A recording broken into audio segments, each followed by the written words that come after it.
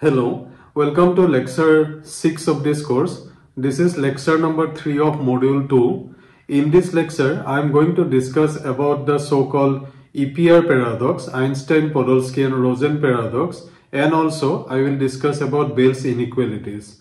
Hopefully, this lecture would give you an idea how the concept of entanglement came into existence and also some philosophical aspect associated with it. Perhaps in lecture 1 of this course, I told you that uh, Einstein never felt comfortable with the theory of quantum mechanics. He did not say that quantum mechanics is wrong, but he said that the, it, this theory of quantum mechanics is incomplete. In order to prove his point, in collaboration with Podolsky and Rosen, he wrote a research article in 1935 giving birth to the so-called EPR paradox. I am going to give you a very simple version of their argument that they provided in their article. However, before I discuss the EPR arguments, let me discuss about a unique feature of quantum mechanics that is its non-local character. Let us consider two photons consider two photons in an entangled state in an entangled state given by this configuration. Let us say they are they form a singlet state and they are expressed by this configuration. Ket HA HB minus ket VA VB let me denote it as equation number 1 here here this ket HA refers to a single photon in the horizontal polarization mode.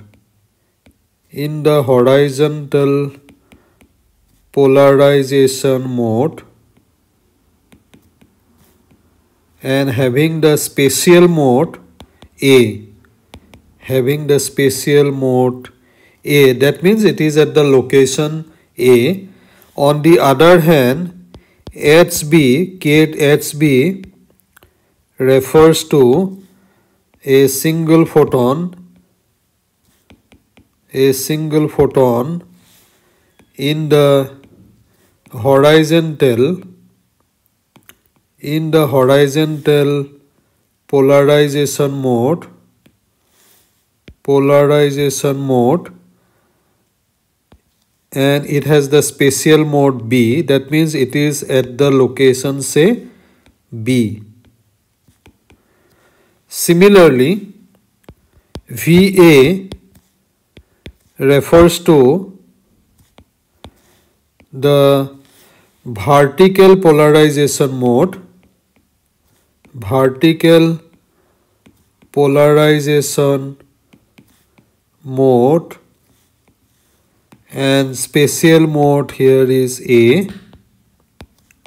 Spatial mode A for the single photon and similar way VB refers to vertical polarization mode okay. And spatial mode here is B. That means it is at the location B. Diagrammatically speaking what I mean to say is this. Suppose say the first photon is at the location A or it has a spatial mode A and the other photon has spatial mode B and this first photon is horizontally polarized. If it is horizontally polarized the other one is also horizontally polarized. Or if the first photon that is photon at position A position A is vertically polarized the other one is also other photon which is located at position B is also vertically polarized and in this case this particular photon which is vertically polarized at the location B is represented by ket VB. This photon at A which is vertically polarized it represented by VA. This photon this particular photon which is horizontally polarized at location A is represented by ket HA and this photon at location B which is horizontally polarized it represented by ket HB. So this is basically the scenario we are having. Now overall the entangled state means that the photons are in a superposition of either both being horizontally polarized or both being vertically polarized. Now you have to note that it is not possible to write down a ket state that describe the polarization state of just one of the photons, the ket must describe both photons jointly and hence this term entanglement is used here. Now suppose the photons are initially at the location say A and B, B nearby and I take them away to a far away location. Suppose one photon is at here, the other photon is at B and this is at a very far away distance then uh, if you do this carefully then equation 1 that I have written will continue to describe this state but now we have a system described by a singlet ket whose individual parts may be space-like separated. If a measurement is made on one of the photons and it is found to be say horizontally polarized, the other one, the state of the other photon immediately becomes horizontal. It appears that actions on one photon immediately affects its entangled partner seemingly in contradiction with special relativity and special relativity as you know requires that any communication is uh, limited by the speed of light. That means no communication can travel faster than the speed of light. Because of this behavior of entangled systems, quantum mechanics is often referred to as a non-local theory. Now the orthodox view of quantum mechanics says that there is no contradiction at all and we are going to discuss this issue little bit later. Now let us discuss EPR's thought experiment. The original EPR thought experiment used position and momentum as variables and you know that position and momentum are continuous variables. Consider two particles A and B originating from the same source. Consider two particles A and B originating from the same source.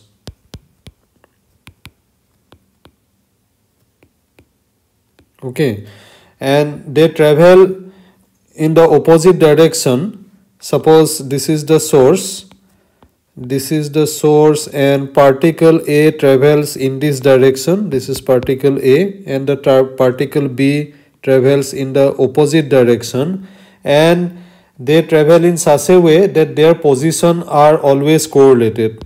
Position of A and B are correlated. What I mean by this is as follows. In the position basis in the position basis it's a continuous basis in the position basis the state of the particles can be represented by because I am discussing EPR paradox say the state is represented by a ket called EPR and the state is going to be written like this. Here x ket xa ket xa refers to position eigenket this is position eigenket or eigenstate of particle a particle a while x ket xb is the position eigenstate or eigenket it's the position eigenstate of particle B. So this correlation effectively means that if I measure position of particle A and I find it at xa then immediately the position of the particle B will also be known and it would be at xb and this is an important equation. Let me denote it say equation number 1 by the way some of you may have seen position basis which is a continuous variable basis for the first time so for them let me digress a little bit and discuss very briefly about quantum mechanics of continuous variable and I'm going to discuss very briefly about position basis as well as momentum basis which is going to be very relevant for our discussion. In general, the quantum mechanics principles, particularly postulate etc. we discuss are in the context of discrete variables. For example, when we write k psi is equal to summation n is equal to 1 to infinity Cn phi n. Here phi n's are the eigenkets, Cn are the complex coefficient. The use of the summation sign indicates that we are dealing with discrete variables in the sense that here n takes value 1, 2, 3 and so on. It is discrete. The observables we consider in discrete variable quantum mechanics exhibit discrete eigenvalue spectra. For example, if I talk about an observable say spin of an electron it can take the value either plus s cross by 2 or minus s cross by 2 as you know plus s cross by 2 corresponds to the eigenstate spin up state and minus s cross by correspond to the spin down state but if we go over to continuous variable quantum mechanics. There the observables have continuous eigenspectra for example say position of a particle. If i talk about position of a particle let us say one dimension uh, if I talk in in one dimension the position x takes value from minus infinity to plus infinity so it has continuous eigenspectra. Now to discuss quantum mechanics with continuous variable let me remind you about eigenvalue equation for discrete variable case. For namely say when we have this eigenvalue equation a applied on the uh, eigencase say a is going to give me a a and a is the eigenvalue here. This is eigenvalue and this is my eigenket and we can extend this analogy to the continuous variable case. In analogy to this eigenvalue equation I can write an eigenvalue equation for continuous variable also as follows.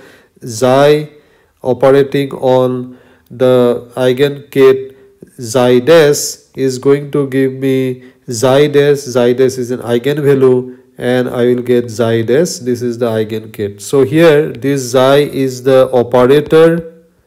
It's the operator. Xi dash is the eigenket and xi dash is here eigenvalue. So this I am talking in terms of continuous variable. This analogy we can extend to a number of cases. For example the so-called orthonormality condition orthonormality condition that we encounter in discrete variable quantum mechanics is as follows. It says the scalar product of these eigenbasis phi m phi n is equal to delta mn where delta mn is the Dirac delta function. This means that the state phi m and phi n are orthonormal in anal this we can extend to continuous variable as follows. We will write in continuous variable the scalar product of say xi dash and xi double dash would be equal to now instead of this Dirac delta here here we are having Dirac delta. In continuous variable case we are going to write a Kronecker delta. That would be delta xi dash minus xi double dash that means if xi dash is equal to xi double dash then this is going to give me 1 if xi dash is not equal to xi double dash this is going to give me 0 so this is Kronecker delta. The same thing we can do for the completeness condition as well. So let me write the very important completeness condition in discrete variable we write the completeness condition as follows. We write summation say a dash a dash a dash is equal to identity operator. It is identity. We can extend this to continuous variable. Summation is now going to be replaced by a integral and we'll have d xi dash k xi dash bra xi dash would be equal to 1 okay. Now any arbitrary uh, state Ket alpha we can write in discrete variables using this completeness condition as follows. We can write a dash a dash a dash alpha. The same thing we can do in continuous variable case also. Ket alpha is equal to integration d xi dash xi dash xi dash alpha. All right? Now what about the uh, scalar product of two uh, quantities? Two kets say ket beta and ket alpha. In discrete variable we write it as this. Say summation a dash beta and we are going to just use the completeness condition. We are going to sandwich this thing inside and then this is what we will get. And the analogy for continuous variable is again simple and this would be simply replaced by this integration d xi dash beta xi dash xi dash alpha. Okay as you can see uh, going from discrete variable to continuous variable appears to be very straightforward now we'll discuss about the position and momentum basis which is extremely useful in continuous variable quantum mechanics. So let us discuss about position basis first then we'll go to momentum basis. Say the position operator x satisfy the eigenvalue equation x x dash is equal to x dash x dash where x dash is the eigenvalue position eigenvalue. This is eigenvalue. And ket x dash is the eigenket and x is the operator. I am not using the cap sign here. Uh, i am avoiding it but you should understand that i am talking about operator here.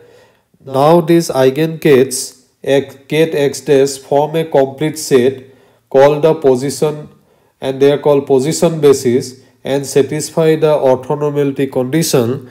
The orthonormality condition is scalar product of x x dash is equal to Kronecker delta x minus x dash. Here this x corresponds to the eigenvalue corresponding to the eigenstate uh, ket x and x dash is the eigenvalue corresponding to the eigenstate x dash okay? And also the completeness condition satisfied by this position eigenkets are as follows. dx ket x bra x is equal to 1 and we can expand any arbitrary ket in the position basis. For example suppose we have this eigenket psi of t ket psi of t. I can use position basis. Basically I have to use the completeness condition. Then I have to I can write then I can write it as follows. So simply this is what I will have right?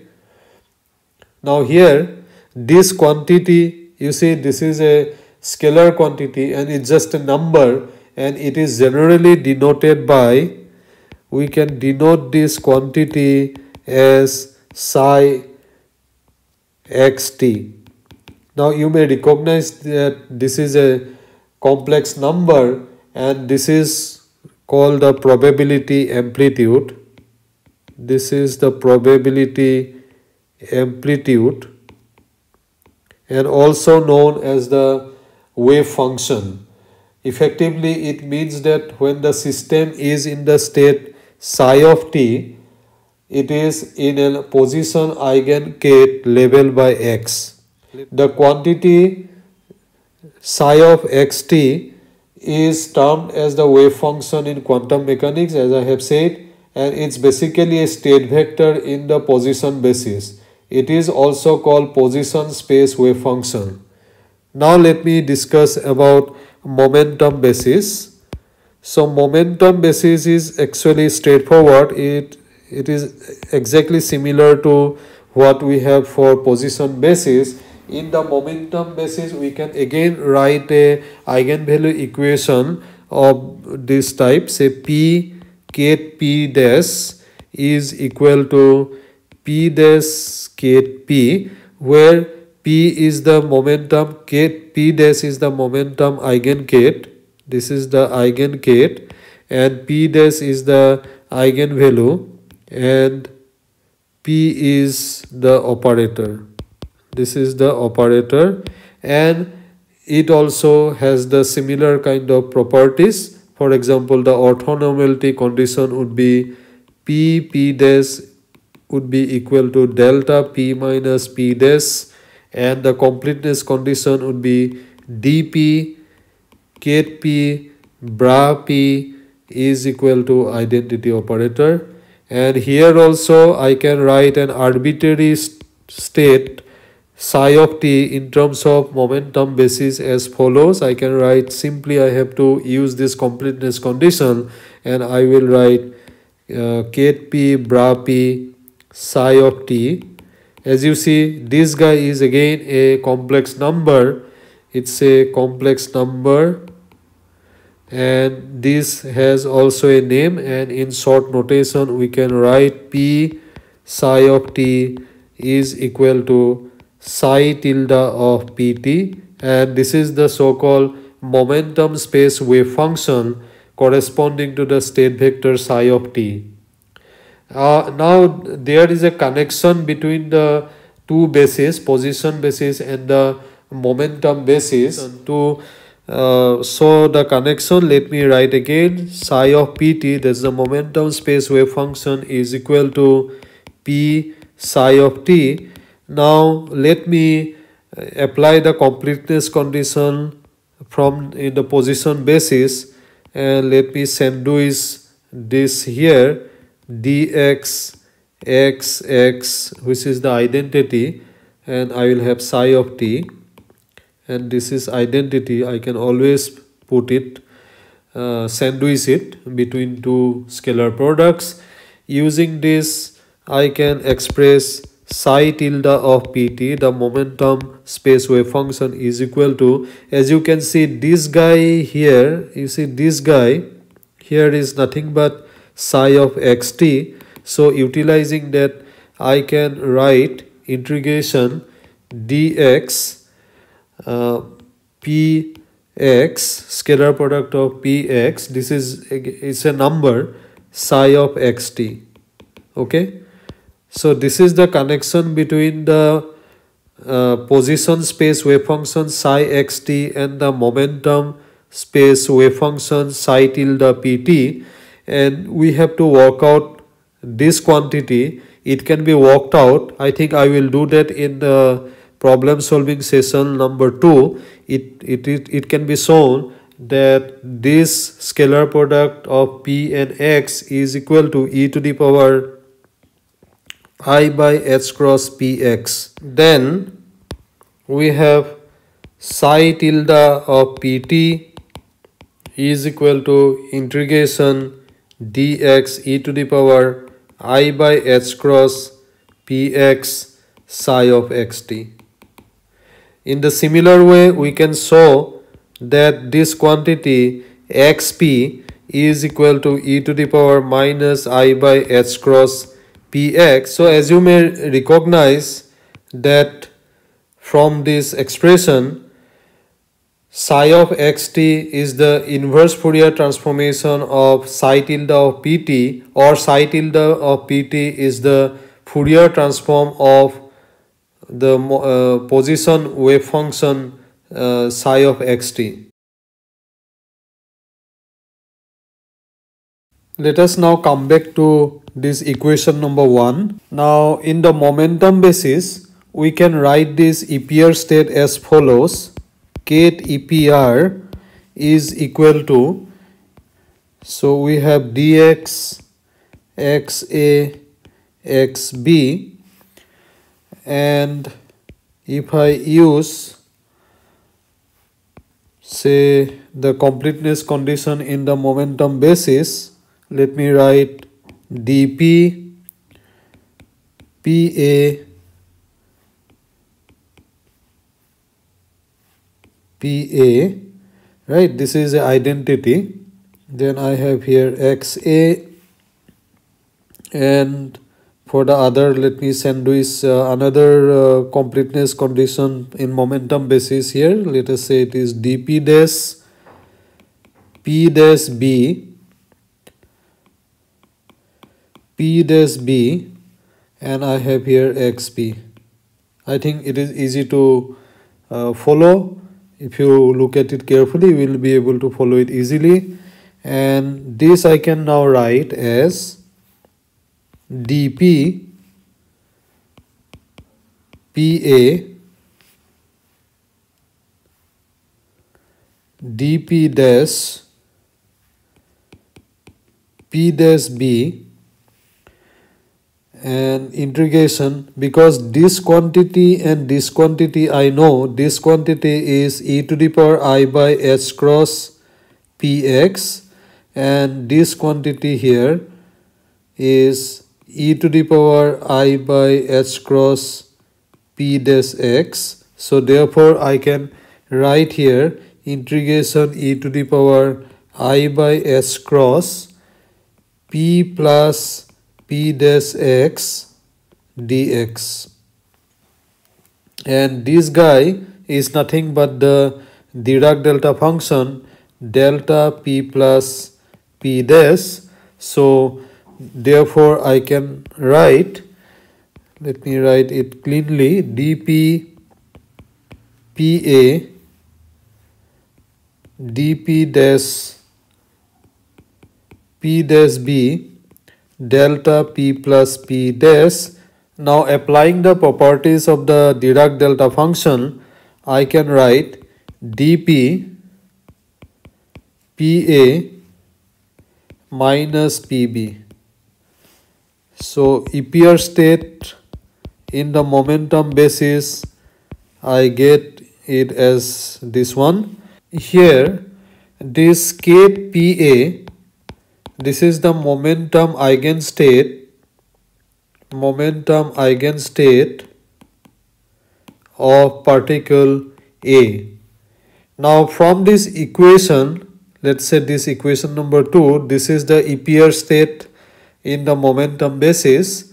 From here you can see that the momentum is exactly anti-correlated for this state. If a measurement of particle A is made, if momentum measurement is done and if we find that the momentum of particle A is P, then immediately the momentum of the particle P, uh, particle B would be minus P. It would be opposite to that of particle A.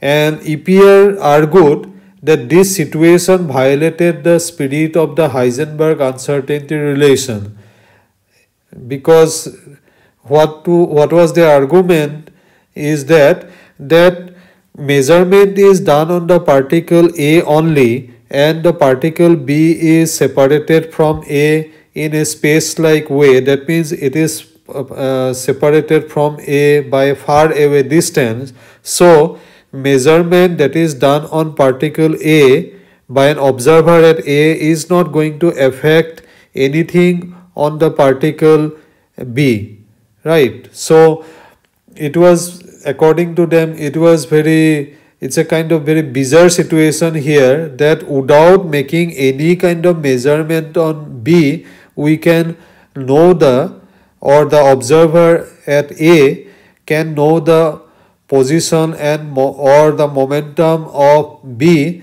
with arbitrary precision and because the choice of the measurement was arbitrary and apparently it did not affect the real situation of the other particle it seemed that the particle b must have some well defined value of this observable in the very first place contrary to, contrary to heisenberg uncertainty relation. And the quantum description implies that a connection between the particles even when far apart which einstein termed as spooky action at a distance. So EPR's conclusion was that quantum mechanics is incomplete and there must be some additional hidden variables determining the real situation of each particle. Now there is another version of EPR which was uh, put forward by uh, British physicist David Bohm involving discrete variables. Now let me give you a simplified version of Bohm's EPR version of thought experiment. Consider the decay consider the decay of a neutral that means a chargeless particle a neutral and also spinless that means spin zero a spinless particle into suppose it is decaying into an electron let me say electron A and a positron and a positron let's say B okay? That means if you have a neutral particle say M and its charge is 0 it is decaying into an electron. Electron is going this way suppose this is electron A its charge is E minus uh, and the positron is B its charge is E plus. Now because the uh, it has started with a zero spin uh, the source uh, has spin 0 the total angular momentum spin angular momentum has to be conserved. So this A and B, this electron and the positron are described by a singlet configuration say this one given by this configuration 1 by root 2 if the electron is found to be in the up state the positron has to be in the down state so that the uh, spin angular momentum is conserved. Or if the electron is found in the down state, the positron has to be in the up spin state. Now quantum mechanics is completely clueless which combination you will get. However, it does say that the measurement will be correlated. So it does say that the measurement will be correlated. It would be correlated. Now you will uh, get each combination half the time on the average. That means either you will get uh, electron to be in the up state, positron to be in the down state or the electron in the down state and the positron in the up state. You are going to get half of the time on the average if several measurements are carried out. The apparent trouble is that uh, if we know that A is in spin up state right? If a is in spin up state then b is in the spin down state.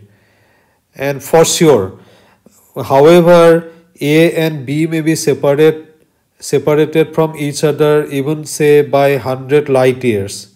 Now EPR considered this as spooky action at a distance in fact in essence there are two views uh, about this par uh, paradox. One is the realist view realist uh, says that there is nothing surprising the electron really had spin up and the positron spin down from the moment they were created. It is just that quantum mechanics did not know about it.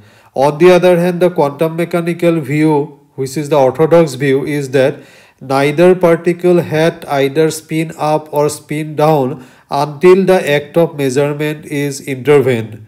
Our measurement of the electron A collapse the wave function and immediately produce the spin of the positron B even if they are at 100 light years away or whatever distance they are away. The fundamental assumption on which EPR's argument rests is that no influence can travel greater than the speed of light. This is the principle of locality. EPR paradox was considered quite philosophical uh, till quite some time uh, because no experiment could be designed to test EPR's thought experiment. However, in 1964, John Stuart Bell came up with a excellent research article and there he gave a theoretical basis by which experiment could be designed and quantum mechanics could be tested. John Bell came up with a theorem which is now called Bell's theorem. It consists of a proof that shows that the predictions of quantum mechanics differ from the predictions of the so-called local hidden variable theory. And he came up with what is now very popularly known as Bell's inequalities. We are going to discuss about Bell's inequalities, a simplified version of that now. Let us go back to Bohm's EPR experiment. In that experiment, we had a neutral particle, say M0, and this particle decays into two other particle one particle being the electron say A and it has charge E minus and the other one is a positron going in the opposite direction denoted by B and it has charge E plus in the experiment, the orientation of the detector detecting the electron and positron spin were parallel to each other as shown in this figure here and they are in the same direction. Now, if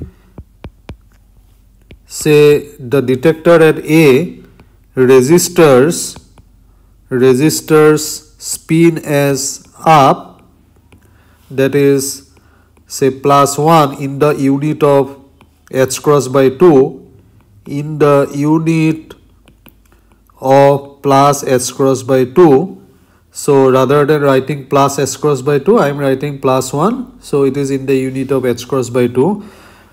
If A resistor spin as up, B resistors as we have already discussed earlier spin as down that is minus 1 and the product is always of these two results the product is always minus 1.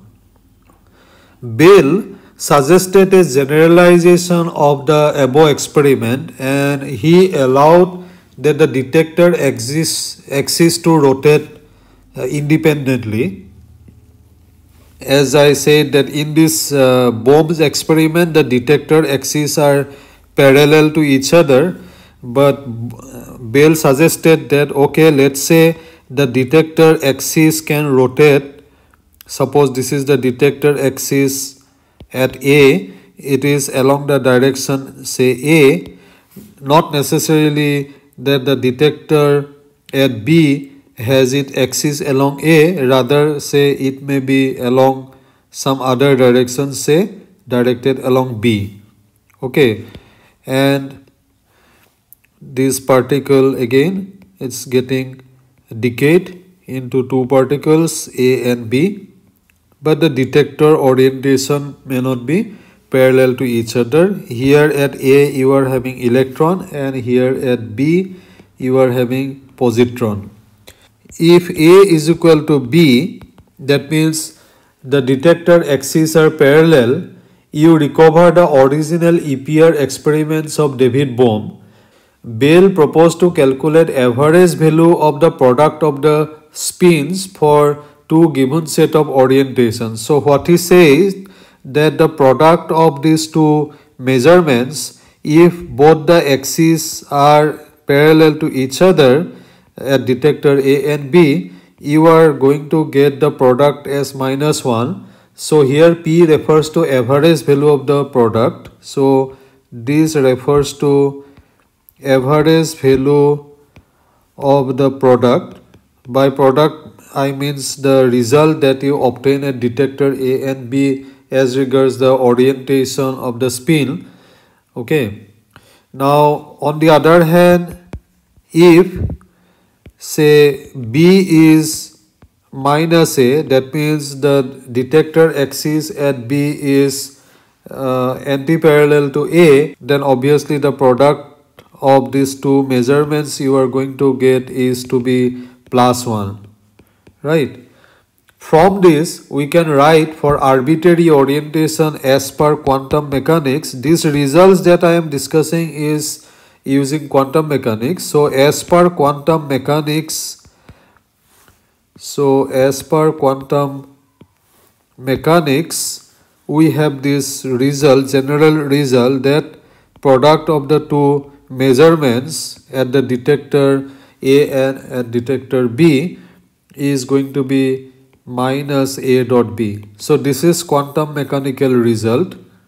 This relation, this particular relation we are going to uh, prove in the problem solving session by giving a proper example of two spin half particles. Now what the so-called local hidden variable theory says about this average or expectation value?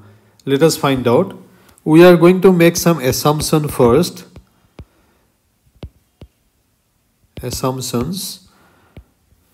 First say the complete set of the complete set of electron positron system electron positron system which is a plus b system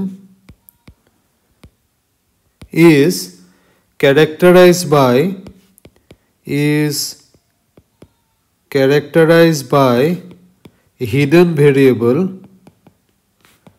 hidden variable lambda. We don't know what is this hidden variable and we have no control over it. Also assume that the outcome of electron measurement electron measurement is independent independent of the orientation of the detector at B. Detector B. So orientation means we don't know whatever be the uh, direction of B uh, the outcome of electron measurement is not going to depend on that. Suppose there exists some function say a a function of the orientation axis of the detector at a and hidden variable lambda and this function gives the result of gives the result of electron measurement electron spin measurement spin measurement and we also have a function b which is a function of the detector orientation at b and hidden variable lambda and this gives the result of positron spin measurement result of positron spin measurement. Okay. Now this function can take only values plus 1 or n minus 1 so a this function a a lambda it takes value either plus 1 or minus 1 and b takes value because the spin can be either plus half or minus half that's why both a and can take value uh, plus 1 or minus 1 let me say this is an important uh, proposition. So let me say this is equation number 1 now when the detectors are aligned suppose the detectors are aligned that means the orientation of the detector at a and b are parallel. When the detectors are aligned then we will get a of a lambda is equal to minus b of a lambda because as you know if the detector a detects that the spin is plus 1 then obviously the detector b should give the opposite result of a. And that is going to happen for all hidden variable lambda. And this is our proposition number 2 now the average product of measurement or expectation value average expectation value or the average product of the measurement product of the measurement is it is given by PAB is equal to rho lambda. I will explain what it is. Product is A a lambda b b lambda d lambda where rho lambda is the probability density of hidden variable. This is probability density of hidden variable. Hidden variable. And just like any probability distribution it should satisfy this condition. Rho lambda d lambda should be equal to 1 because it has to take some hidden variable out of all the distribution. And now using this equation say this is my equation number 3 using equation 2 equation 2 in equation 3 I can rewrite equation 3 as follows I can rewrite equation 3 as this PAB is equal to minus rho lambda A A lambda A B lambda okay D lambda. So here I have used this equation number 2 in equation number 3 and that's how I get this equation. So let me name it as equation number 4 now if I take an another orientation of the detector it may be at detector A or at C uh, at B say if C is any other orientation or any other unit vector or orientation of a detector then I can write because now I have this equation number 4 I have using this equation I can write PAB minus PAC I just have to use equation 4 and then I will get very easily this expression rho lambda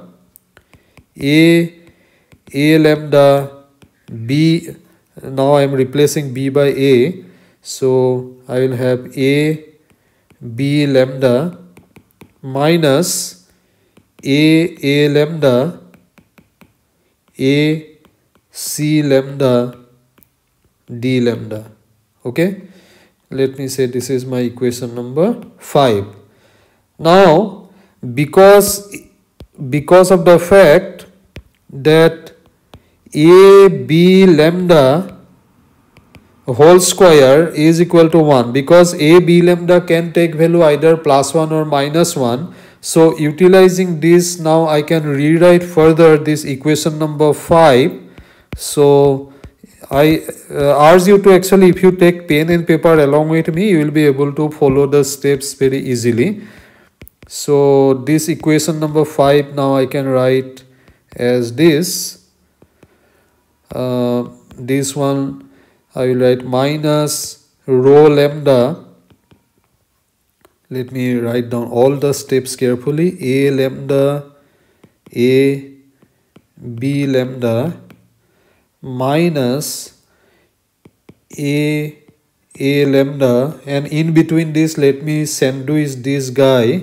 This expression let me sandwich that is a because this is equal to 1 b lambda uh, whole square then I have a c lambda d lambda.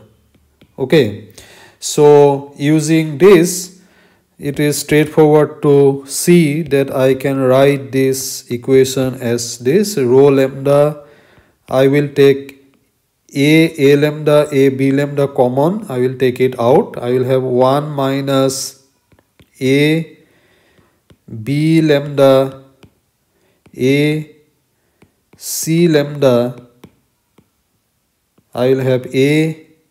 I am taking it common now. A a lambda a b lambda d lambda. I hope all of you can follow it. Now we are going to use the fact that this product a a lambda a b lambda it can take value either 1 or minus 1 or plus 1 so it basically lies between minus 1 and plus 1 right? It can maximum it can take plus 1 and minimum it can take minus 1 so it lies between then uh, between these two values. And moreover the fact is that rho lambda 1 minus a b lambda a c lambda this is also going to be greater than or equal to 0 because rho lambda is has to be a positive quantity it is probability. So this quantity has to be greater than or equal to 0 so utilizing these two properties to uh, information i can therefore write p a b minus p a c is equal to if i take the modulus then i am going to get this inequality very in a straightforward way that this would be less than or equal to rho lambda 1 minus a b lambda a c lambda d lambda. Now you see that this guy this quantity is nothing but with this minus sign this quantity is nothing but p b C, right? So, uh, along with, of course, uh, rho lambda, if you see the definition of, let me again remind you, this expression, if you see, so using that definition along with this integral, this integral is also there. So, this expression, let me say this is my equation number 6. I think I have written this is equation number 5. So, this equation number 6 I can write in a compact form as follows that is P A B minus P A C is less than or equal to 1 plus P B C and this is the very famous Bell's inequality. This is the so-called Bell's inequality. It is one of the form. There are many, many forms in literatures. Many other forms are there. But primarily, this is one of the most popular form of Bell's inequality. And this holds for any local hidden variable theory. Now the question is, does the quantum mechanics predictions compatible with Bell's inequality or not? To do that, let us say all three vectors say all three vectors a or, or detector orientation a b c lie in a plane. Okay? Lie in a plane. And say c makes an angle. Say the orientation c makes an angle 45 degree angle of 45 degree with both uh, we can always uh, have this kind of situation in experiment with both A and B. That means the A and B are orthogonal to each other. The detector positions of detector A and detector B are perpendicular to each other and C is making an angle of 45 degree with both of them so this is 45 degree this is 45 degree therefore quantum mechanics what quantum mechanics says if this is the orientation as per quantum mechanics we know the result PAB is equal to minus A dot B which is equal to 0. A and B are by the way unit vectors. So because the angle is 90 degree uh, uh between them so cos 90 is 0 so PAB is equal to 0. On the other hand PAC is uh, it is cos 45 degree with a minus sign right with minus a dot c so therefore it is minus 1 by root 2 and p we are left with another quantity that is PBC. PBC is also minus B dot C and because the angle is 45 degree this is 1 by root 2 and 1 by root 2 is approximately 0 0.707 okay? This is minus 0 0.707 now let us see whether Bell's inequality if we put whether that inequality is uh, uh, satisfied by this quantum mechanical results if I put this here this is my Bell inequality 1 plus P BC now PAB is equal to 0 and this equal to uh, this quantity 1 by root 2 so therefore if I am taking the modulus so this would be 0 0.707 and this should be less than or equal to 1 and PBC is minus 1 by root 2. So it is 1 minus approximately 0 0.707. So this is equal to uh, 0 0.293. Now it is very clear that 0 0.707 is definitely greater than 0 0.293. So therefore this Bell's inequality is not obeyed by quantum mechanics results. So quantum mechanics is not consistent with Bell's inequality and uh, therefore uh, we can discard the so-called local hidden variable theory. One important alternative form of Bell's inequality is the so-called CHSH inequality.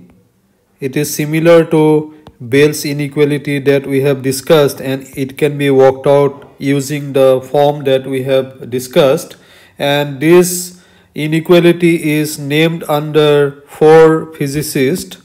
They are uh, C stands for Clauser H stands for Horne S stands for Shimony Shimony and the other H, H stands for Holt so this is a very relevant uh, inequality in terms of experiments are concerned and the form of this inequality uh, is as follows. It is the modulus of PAB AB are the as I said the detector orientation. PAC this is less than or equal to 2 plus minus P a dash C, this is another orientation of the detector at say A. And this is another is P A dash B. Okay. And or we can write in a more convenient form this inequality is also written as minus 2 less than or equal to S lambda a a dash b c it is less than or equal to plus 2 where this quantity s which is a function of lambda and the orientations a a dash b c is equal to P A B minus P A C plus P A dash B plus P A dash C. The proof of this inequality is straightforward and we will do that in problem solving session 2. By the way, the Bell's inequality that I have proved earlier is uh, inspired by Griffith's quantum mechanics book, chapter 12. Now, in as regards this CHSH inequality is concerned, Clauser and his group experimentally demonstrated that quantum mechanics violate this inequality, thereby discarding, discarding local hidden variable theory. Let me stop for now. With this lecture, we have completed the second module of the course. I encourage you to go to the problem solving session number 2. In the next lecture, we'll start discussing quantification of quantum entanglement. So see you in the next lecture. Thank you so much.